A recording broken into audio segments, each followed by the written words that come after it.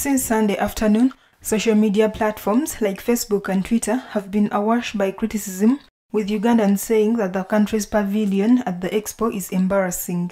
In a tweet, Tumwebaze said that the expo is largely a business to business showcase and Uganda has already made several wins.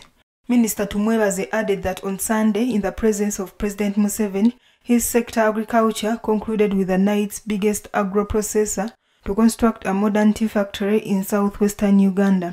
Tumwebaze said that it is sad that while the country is making progress, some Ugandans are mourning on social media. Uganda joined at least 190 countries to showcase its tourism and investment opportunities potential at the Dubai Expo 2020 that is underway in Dubai. The expo will last for six months until March 2022. Ugandans online had a field day making fun and critiquing the Ugandan showcase, which included Lato milk boxes and tea at the exhibition. President Museveni, in his speech at the expo, talked about Uganda as a country ready to welcome investors, owning to a huge market and a young huge population.